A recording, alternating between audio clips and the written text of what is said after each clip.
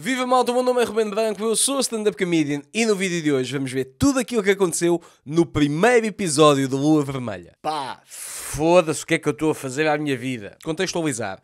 Já durante os tempos que eu fiz aqueles vídeos dos morangos com açúcar, algumas pessoas me foram falando desta série em específico, desta telenovela. E depois eu vi que ela estava disponível na Amazon Prime. Epá, e tanta gente estava a falar disto e esta merda aparecia-me nos tops. Tipo, olha, está uh, mais visto em Portugal, não sei o quê. Eu estava tipo, mas o que é que se passa? Será que isto é assim tão bom? Sabia que era uma série sobre vampiros e disse, ok, vou dar uh, uma chance. E então eu vi o primeiro episódio. Epá, a minha vida não é fácil. De qualquer forma, se tu já viste, podes recordar aqui. Se tu nunca viste, encosta-te que eu vou explicar tudo o que aconteceu no primeiro episódio. Ah, Ruben, e o resto dos episódios? São 338, tá? Não vai? Eu não vou passar a minha vida a ver esta merda. Que eu não vos fiz mal nenhum, ok? Vamos para o vídeo. Um genérico meio pizza da telenovela, lá com uma musiquinha meio não sei quê. Caras a aparecer e caras começa o episódio. O episódio começa com um rapazinho a correr.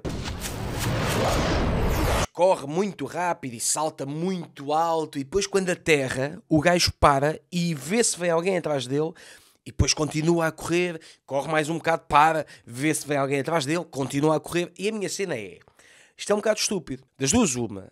Ou ele, tipo, ele não consegue ver rápido, é isso? Porque imagina, ele consegue ver rápido, então porque é que ele tem de parar para olhar para trás? Eu podia estar a correr e olhar para trás. Ou podes-me dizer, não, Ruben, é que ele não consegue ver bem se estiver a ir tão rápido. Então, se ele não consegue ver tão bem, indo tão rápido, como é que ele não cai. Ou seja, tu consegues ver para a frente, estás a correr bem rápido e consegues ver tudo para a frente, mas para ver para trás tens de parar. Dá um jeitão do caralho quando tu estás a fugir de alguém. E agora tenho de ver se ele está longe. Para. Está longe. Nem sequer dá jeito esta merda. Mais de um minuto no início deste episódio é só o bacana correr. Corre, corre, corre. Aparecem uns gajos com capuz. E aqui eu sou sincero, se este jovem de calças e t-shirt consegue correr rápido, mas a olhar para trás, mano, aqui estes bacanos, aqui o, o, os gajos com as capas e o caralho, que eu a dada altura até fiquei, tu queres ver que o gajo fez merda com alguém da Tuna? Não são da Tuna, mas já estavam a prever as lives da NPC do TikTok. Porquê? Olha aqui o que este estúpido está a fazer com a faca. Só assim, está só, ah, estou-me só a mexer, porque eu vou-te matar. Que é isto? Que é isto? O que é que se passou aqui? Uma, para, uma paragem aqui dentro se calhar deu. Pá, o gajo dá porrada nos quatro, o que é que faz a seguir? Continua a correr. Porra, este homem corre muito. Nesta estrada passa um carro, o gajo está a correr, passa por uma estrada, passa um carro, dentro está a protagonista e duas pessoas. Agora, nós não sabemos nada sobre, sobre isto, né? não sabemos nada sobre esta gente. E de certeza que eles nos vão arranjar uma forma de explicar sem ser daquelas informações metidas a martelo num discurso que tu percebes que é só para nos deixar informados de tudo. Pode estar contrariada, mas eu sei perfeitamente que vais gostar do colégio. Pronto, nós descobrimos de uma forma natural que ela está contrariada porque ela não quer ir para um colégio, mas vai para um colégio. Quando eu fizer 18 anos, saio deste colégio. Não digas isso. Aí diz, diz, até porque por nome aos 18 anos acabas o 12 segundo, tá? Porque se ela dizer, não, olha, eu, eu quando fizer 25 ainda vou estar neste colégio. Uh, pá, se calhar é porque é burra, tá? Se aos 18 sai, é o normal. Eu e a minha irmã tínhamos ideias muito diferentes sobre a melhor educação a te dar. Ok, então à partida esta senhora é tia dela. Ela não diz o nome da pessoa, ela não diz a tua mãe, ela diz a minha irmã.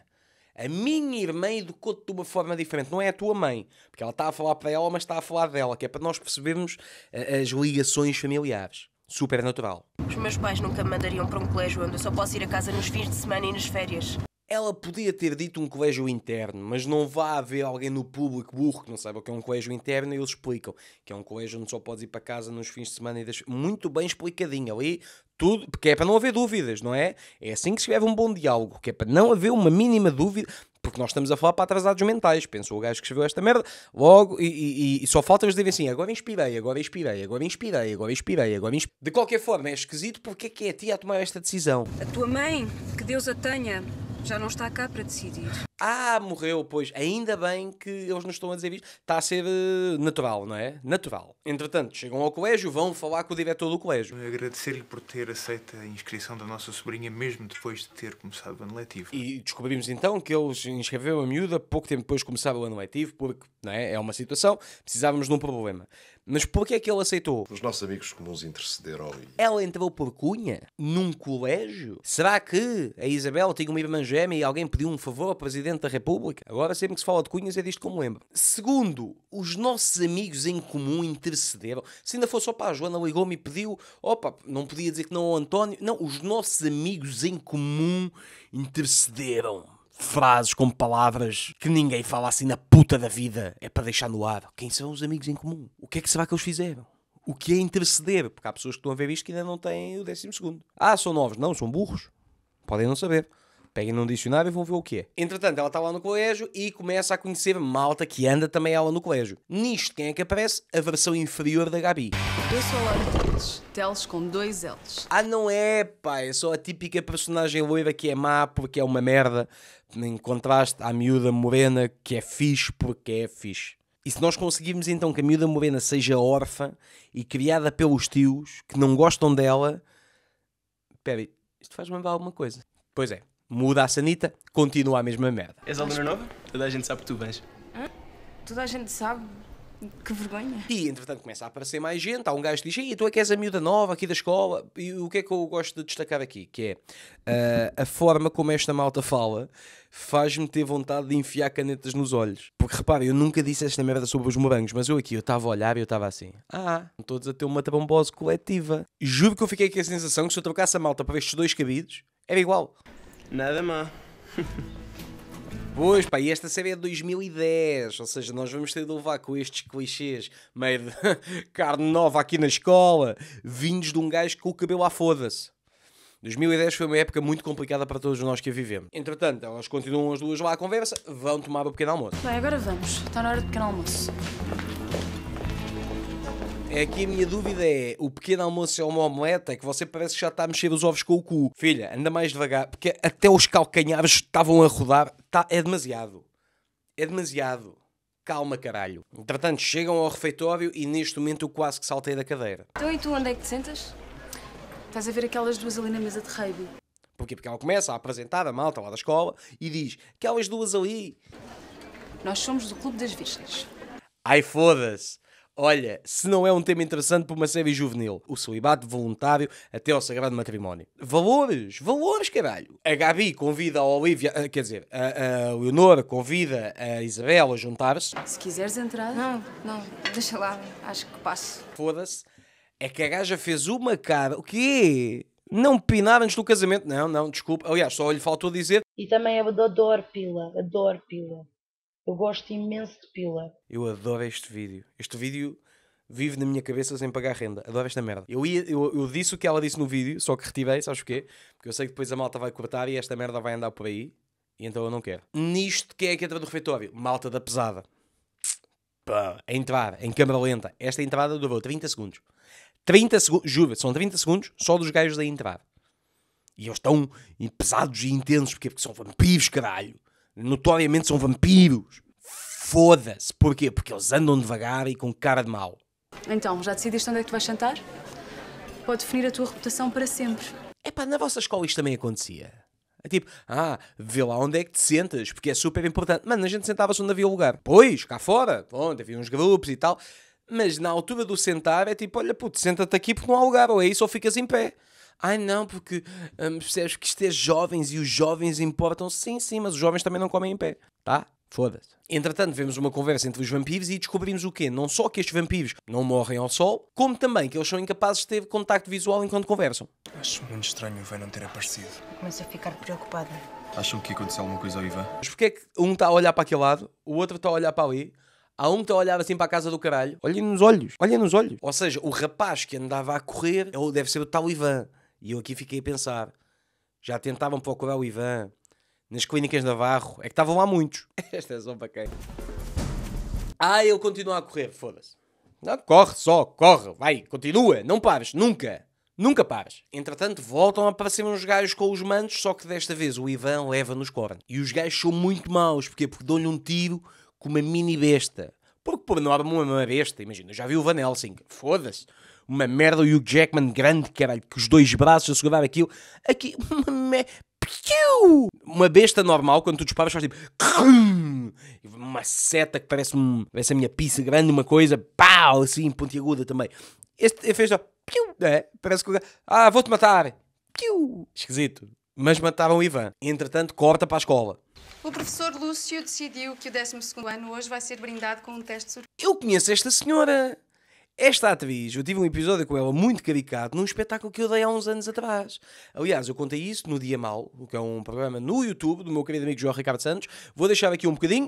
Ah, o dono, por simpatia, vai às mesas, viu, não sei o quê, perguntou-lhe: está tudo a correr bem? Ela disse: olha, eu vim cá há dois anos comer um brigadeiro e beber um café. Por acaso o brigadeiro estava ótimo, estava ótimo brigadeiro. Mas este espetáculo hoje está a ser um inferno. O vocabulário utilizado não é apropriado. Um inferno. Corta para eu estava em palco, ele conta isto aos outros humoristas, aquela senhora ali, a atriz, e eu, ah, ok, ok, ok. Não te disseram nada a ti? Não. E, e ao mesmo tempo. E agora que voltamos, o resto vocês podem ver no link que está na descrição. Nesta altura do episódio, o que é que eu comecei a perceber? Os morangos eram 20 episódios. E aqui são 338, ou seja, aqui há muita palha. Eu vou começar a saltar algumas partes do episódio, ok? Vamos só passar alguns pontos-chave do episódio. Por exemplo, este rapazola que recebeu uma mensagem num telefone fixo, praticamente. Era um destes que a gente usava. Ah, e para ir à internet? Não havia internet, era isto. Era isto. Nisto entra um vampiralho na enfermaria. Estou mal disposto. Oh, Afonso, eu duvido muito. Isso é uma desculpa para faltares às aulas. Ai, que eu estou doente. Ai, não estás nada, vamos medir a tensão. Eu Claro que não. Então vamos medir a tua atenção e já vemos, está bem? vou pensar, vou medir a atenção ao vampiralho. Isto corre mal. E o gajo diz-lhe assim: Não é preciso, basta assinar uma justificação. Percebem, meninos? Estão a perceber ou não? Ou seja, vocês podem ser vampiros que correm rápido, saltam alto, são fortes, são imortais. Ainda assim, não podem faltar às aulas. Eu nunca vou entender este conceito, mas isto é culpa do Twilight ou o caralho. Eu nunca vou perceber este conceito de eu sou um vampiro, eu sou imortal. Por isso, vou para a escola. Foda-se! Entretanto, o puto que recebeu a mensagem dispara um alarme de incêndio. E aqui eu fiquei tipo, ah, isto é tipo os morangos, a malta faz merda e que se foda. E acreditem que isto ainda não é nada. Foda-se. Agora sou sincero, imagina-se, depois dos vídeos dos morangos, eu marquei este espetáculo ao vivo que está praticamente esgotado já, e eu anunciei-o há dois dias, vocês são bons. Esta série vai-me dar para fazer para aí uns 20. Só com este primeiro episódio. Vamos voltar ao vídeo. Porque entretanto a malta descobre que isto foi apenas um falso alarme. Está a dizer-me que foi um falso alarme. Claro, foi ensinado por alguém. Aqui eu queria só dizer que o diretor da escola está a gritar com um bombeiro. Se não era do gajo, vá um chapadão no focinho. Ah, porque este diretor é, é, é mau a falar com as pessoas. Porquê?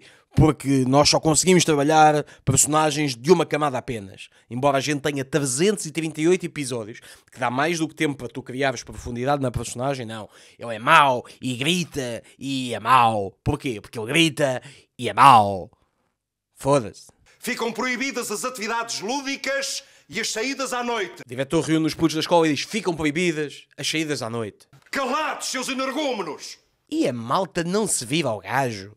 Aqui é a prova que esta merda já é 2010. Porque se isto fosse em 2024, os pais iam lá ao colégio: olha, desculpa, você não pode falar assim com as minhas crianças. Não, porque eles vão ficar com problemas de autoestima.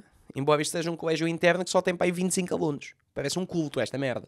Não há também fins de semana para ninguém. Ah, aqui eu queria só dizer que se eles podem ir a casa aos fins de semana e tu de repente não os deixas sair para ir a casa, ah, é sequestro.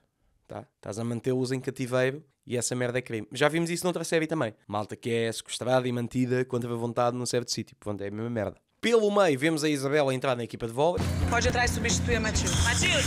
Vemos também dois soninhas a jogar xadrez. Vocês estão de novo nisto.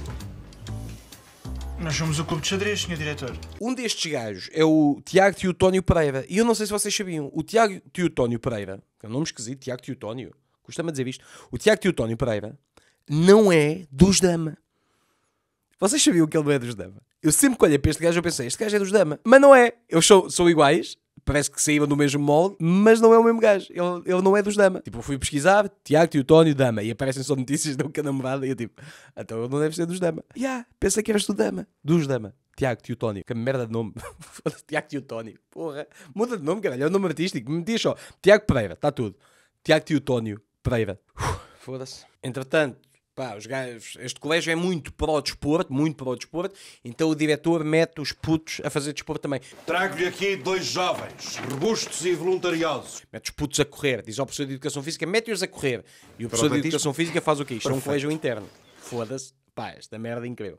Isto é um colégio interno. Então o que é que pá, vocês vão correr para onde? Para fora do colégio. Isto é um colégio interno, mas vocês vão correr para o exterior do colégio. Os gajos vão correr e metem mais um também. Metem um, um gadelhas a correr com eles. Vai correr, vão os três a correr para o meio do mato. Porque é necessário.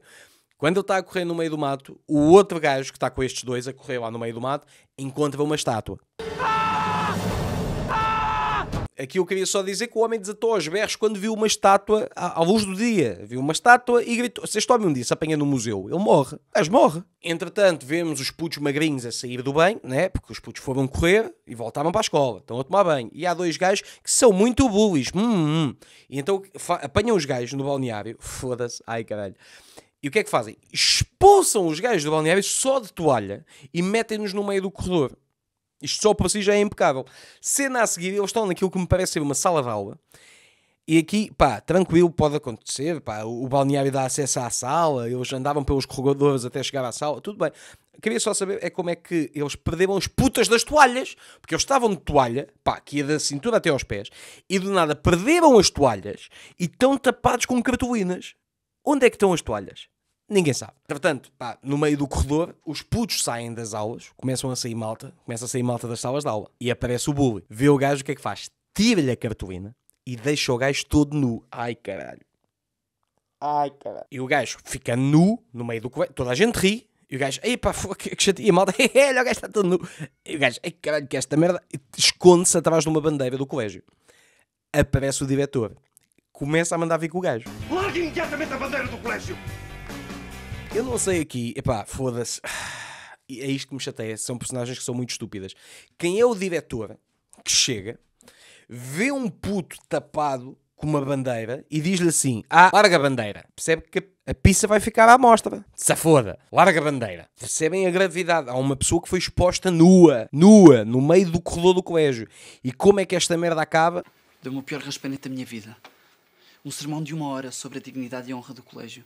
Ou seja, há um bacano que faz com que tu fiques totalmente nu, que não lhe acontece nada, e este gajo que foi vítima de um bullying fudidíssimo leva um sermão. É para nós percebermos, coitado deste que foi vítima de bullying, o diretor é mesmo muito mau, mas esta merda não faz sentido, caralho. Tá? Não faz. Mas tudo bem. Nós aceitamos. Porque isto é. Não é fruta podre, mas é tipo uma merda qualquer. É da mesma coisa. Eu já disse que o meu espetáculo está quase a esgotar. Comprei os últimos bilhetes. Bilhetes na descrição. Até já. Corta para um bar. E é um bar de quê? É um bar eh, onde se reúnem vilões. Como é que nós sabemos? Porque o bar tem este aspecto. Só falta por cima ter uma tabuleta a dizer temos vampiros. Mas tudo bem, lá dentro está os vampiralhos todos a falar sobre o Ivan que desapareceu. Alguém sabe do Ivan? Está desaparecido desde ontem.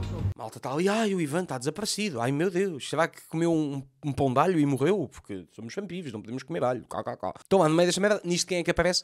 O resto dos alunos do colégio, porque eles estavam de castigo, mas fugiram. Todos tipo às escondidas. Ai, a gente vai fugir na mesma. Porque esta merda é um colégio interno, vocês não podem sair à noite, mas saiam, porque não há portas, nem nada para fechar, nem seguranças, nem o caralho. Vocês podem todos sair, afinal. Onde é que estão todos? Na casa de banho.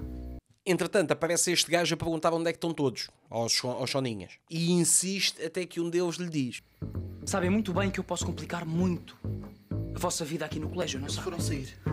Olha que surpresa do caralho, não é? O gajo chega lá e diz assim: "Pá, não está aqui ninguém, onde é que eles estão? E o gajo, no fundo, o que lhe disse foi: saíram. Isso eu estou a ver. Mas saíram para onde? O gajo percebeu logo. Tanto que depois a malta no bar recebe uma mensagem do dos Choninhas e o gajo diz: O Hélio descobriu que saímos e agora vem aí. O Manel mandou mensagem a avisar. E agora a minha dúvida é: quem é o Hélio? Porque é que toda a gente tem medo deste aluno? O que é que este aluno tem de diferente dos outros? Não sei, é porque é chibo. Temos medo. Um, há um chibo para esta malta toda. Tinha levado nos cornos já. Tinha levado nos cornos, mas levava forte, mano. Fo- Nem sabia. Não sabia. Estava assim. Pum. Mano, ainda para mais, num- num- num- numa cena interna, num colégio interno, tipo Full Metal Jacket, meu. O gajo devia estar assim deitado, estás a ver? E vá com sabonetes nas toalhas e o caralho, filha da puta, vai-te chibar, é o caralho, filha da puta. Só como quem escreveu isto viu o recreio. Pensou, aí nós também queremos uma personagem que é má e não tem amigos, embora seja aluno também. Só qual é que é a cena? O recreio é para crianças, filhas de uma grande puta, tá? É para pessoas que ainda estão a desenvolver. O cérebro não está totalmente desenvolvido. São crianças pequenitas, o cérebro não oxigena como deve ser ainda. Eles não conseguem pensar. Eu, pá, um adulto com pensamento crítico, olho para isto e penso assim: oh, um cocó, é uma merda, isto é uma merda, isto é uma merda. Mas tudo bem, a malta base do bar, a Isabela atrasa-se um bocado, que é a protagonista, a Olivia está dito, atrasa-se um bocado, está a sair do bar, nisto passa um carro, começa-lhe a mandar piropos. Ah, queres boleia? Não é preciso, obrigada. Ela ignora os gajos, continua a andar e eles saem do carro e vão agarrá-la. E aqui eu fiquei, olha, uma violação no primeiro episódio, foda-se, sim senhora. Nisto quem é que aparece para salvar a princesa? O vampiralho. É melhor entrarem no carro e irem-se embora. E aqui eu queria só dizer que isto tem das piores cenas de luta que eu já vi. Pá, porque eles começam a porrada, o gajo atira um gajo a voar, a voar, caralho. A voar, caralho. Vêm mais dois, o gajo dá nos cornos aos três, e nisto há um burro que está dentro do carro, pá, que sai do carro assim, e vai, vai assim, olhar para baixo, né? Que é, é, o gajo devia estar a pensar assim: se eu vá nos cornos, ao menos nem vejo, vai assim, pega num pau, pá, foda-se. Eu sou sincero. Eu estava a ver esta merda e eu estava a pensar assim: ao pé disto, qualquer cena de porrada dos morangos com açúcar é um filme do Bruce Lee. Acaba a porrada, pá, como se nada fosse, a miúda vai ter com ele, e o gajo diz: Posso-te fazer companhia até ao colégio? Fazer-te companhia até ao colégio? Claro. Claro que sim. E ó, e, ó, sim, sim, sim. E o gajo mete-lhe assim o casaco por cima das costas. Queria só esta miúda que está a ser muito, muito simpática e muito agradecida, teve quase a ser violada. Mas zero trauma. Zero trauma. Não fica tipo, pá, temos de chamar a polícia, temos. Oh meu Deus, tu mandaste um gajo a voar 20 metros. Mete o casaco por cima, vamos para a escola. E a gaja ainda lhe diz esta merda. Contigo ao meu lado eu já não tenho medo. É- E é, que depois há ali um diálogo de merda, tipo contra a luz, para mostrar como é pesado e, e intenso e, e f- isto é tão clichê. Eu, eu, eu queria mesmo poder deixar aqui o, o, o diálogo completo, porque esta merda é maravilhosa, só que não posso porque depois corta a monetização, tá? E então, para isso não acontecer, pá, vão ver, vão ver esta merda. Sintam-se tão mal como eu me senti, vão ver. Voltam para o colégio e, e vem, vem o Hélio mandar vir com o vampiralho e o vampiralho, como está ao pé da protagonista, ela não pode dizer nada ao gajo, não pode tipo, mexer com a cabeça dele e o caralho, e então está tudo. Muito bem, apanhaste-nos. Eu não consigo perceber como é que consegues denunciar os teus colegas. é. Aqui eu queria só realçar que este jovem deverá ter tirado o seu curso de representação no IKEA porque ele tem o mesmo carisma de uma estante Billy. Ruben simpático. Ah. Entretanto, eles o levam na cabeça do diretor. Oh. Tem um código para cumprir. Aqui dentro, regras. Mas saem de lá só com mais uma ameaça. E no dia a seguir eles começam a explicar na escola porque é que o Ivan já não está lá. Já consegui falar com os pais do Ivan e ele vai-se embora do colégio de uma vez por todas, nunca mais volta. E diz o diretor, pá, o Ivan saiu da escola. Saiu da escola, os pais dele e o caralho. E isto levanta aqui a dúvida que é, mas com quem é que o diretor da escola falou? Quem é que lhe disse que era pai do Ivan? Quem é que lhe disse que o Ivan não ia voltar à escola? Será que o diretor está a inventar esta conversa? Será que o diretor é, dos gru é do grupo dos gajos que matou o Ivan? Não sei porque isso não é explicado no primeiro episódio. A seguir vemos a Isabela ir ter lá com o vampiralho ao pé dos outros vampiralhos todos, né? lá na, na mesa do refeitório, para lhe agradecer por ter salvo. Quero agradecer-te. Não é preciso. Eu queria só dizer que tu foste salvo ontem, vocês foram juntos até ao colégio, chegaram juntos ao colégio, despediram-se lá, não sei o quê, e estás a ir agora a agradecer? Epá, é que parece mesmo que esta merda só foi posta aqui para haver uma forma dos dois gajos que também são vampiralhos descobrirem que o vampiralho principal, protagonista, te ajudou. Tu salvaste, o mínimo que posso fazer é agradecer. O Afonso salvou-te. Parece mesmo forçado, não é? Parece. Mas olha, tinhas agradecido ontem, estás a agradecer ontem, hoje também. É tantã da cabeça, a miúda. É tantã. Três rapazes que se meteram comigo e o Afonso apareceu mesmo na altura certa. Não foi nada demais. É que o outro até olha para ele e faz mesmo aqueles olhinhos de ai, filha da puta. Não é? Pensa que Está assim, ai, ai, tão pu... ai, filha da puta. Ai, que vampiralho, filha da puta. Parece uma velha, ok? Ai, ai, ai, esta juventude. Ai, tu bateste em pessoas por causa desta puta. Ai, ai, ai, ai, ai. Entretanto, o vampiralho diz ao outro: Sabes que nós não podemos ter nada com humanos? Sabes perfeitamente que não nos podemos envolver com humanos. Aquele clichê do dois gajos, um gajo, uma gaja, eles amam-se, mas por algum motivo não podem ficar juntos. Tá. Corta para a Isabel falar com o diretor. Eu recebi um telefonema dos teus tios a informarem-me de que tinham sido nomeados oficialmente teus tutores. E para além de seus tutores, Isabel, os seus tios também. E também são eles que vão administrar os bens que recebeste de herança pela morte dos teus pais. Onde é que já se viu uma protagonista órfã que a tia só ficou a tomar conta dela para ficar com o dinheiro? Numa série que saiu 14 anos depois. Aqui é verdade. Aqui é verdade, os morangos com açúcar saíram depois, mas é merda. É, é só para mostrar como estas séries são todas muito diferentes e nenhuma tem nada a ver com a outra. Nenhuma tem nada a ver com outra. Agora vamos para um momento que, pá, no papel é incrível, que é o quê? O, o, o vampiralho protagonista e a vampiralha enjoada estão os dois numa aula de esgrima. Estão ali, fazer esgrima, pá, e esta merda no papel, o desenho desta merda deve ser muito agir. Só que na prática ficou só muito constrangedor. Estás a começar a dar nas vistas. Andar-te! Pá, eu, eu entendo que é para ser intenso, mas ficou só cringe as fuck. Está a tentar muito ser uma merda que não é. Não dá para levar isto a sério. E, e eles depois começam lá na, na, na praticalidade da esgrima, pá, e há um zoom de merda. Que zoom é este, caralho? Que zoom é este, caralho? Estamos a ver um vídeo de YouTube 2015 ou quê? Isto nunca, isto não, não, isto não é nada. Nunca foi. Eu queria só dizer, fruta podre, voltem, vocês estão perdoados. Com menos era uma merda que eu via e dizia, pá, dá para ver. Isto, foda-se, o que eu não faço para vocês. O que eu não faço para vocês agora, não vão dizer às outras pessoas, ai, o Ruben é um, é um estúpido, é o caralho, olha a merda que eu estou a fazer por vocês. É o mínimo que vocês podem fazer, é dizer, pá, sim senhor, o Ruben. Só isto. Pá, sim senhor, o Ruben. Sim senhora, vírgula, o Ruben. É o mínimo. No, entretanto, no mesmo espaço está a ver o vôlei, não é? E a gente vê a Gabi a meter as bolas atrás do Foda-se, pá. A Leonora a meter as bolas atrás da Isabel e ela está ali, tropeça nas bolas e cai. E foda-se. Ela tropeçou em duas bolas. Primeiro, quem é esta pessoa pá, que tropeça numa bola, cai. Fudeu-se toda. Fudeu-se toda. Ia morrendo. A mulher morrendo. Tossiu. Ela caiu e tossiu. Porquê que há uma tosse? Vocês a ouvir esta tosse? Porquê? Não sei. E porquê é que ela meteu ali as bolas?